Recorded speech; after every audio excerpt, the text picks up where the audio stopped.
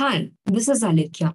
In the last video, I have set up the API app which will provide the APIs. In this video, we'll create the UI app and import the Swagger file from the previous app. Now I'll open up the API app and export the Swagger file so that I can import in my UI app. So click on the Employee API app which we have created. Go to File Explorer section from the left resource panel. Uh, search for HR API underscore API. So this is the file which you have to select. So this is the Swagger file which is generated by the WaveMaker Studio. In the top right section, you will find the download button over there. Click on download. Our Swagger file will be downloaded. So now let's import the Swagger file in our UI app. Go back to project listing page. Now let's create the UI app. For doing that, click on create button over there choose web app, give the project name as employee management, give project description, and then click on OK. Click on save button. Our project employees management has been created successfully. Now, let's import the Swagger file, which we have downloaded. So for doing that, go to API section from the left resource panel and uh, in this section, you'll imported APIs uh, section. So click on plus button over there.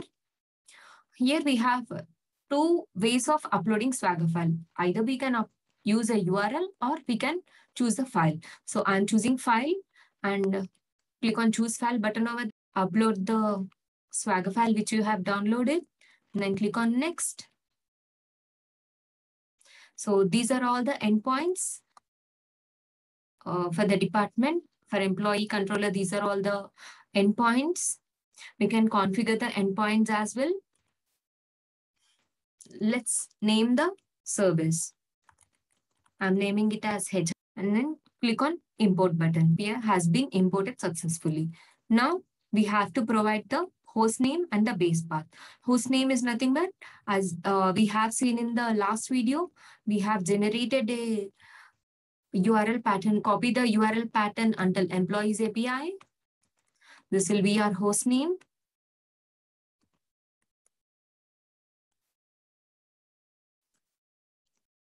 And give the base path as services and then save it. So we have to provide the host name and the base path uh, uh, correctly. So without doing that, uh, the APIs won't work. So now let's test one of the API. So this is the API I'm testing the CRUD uh, GET API for the departments. So these are all the request params. Click on test button. So as you can see, these are the results which we got on testing the department entity.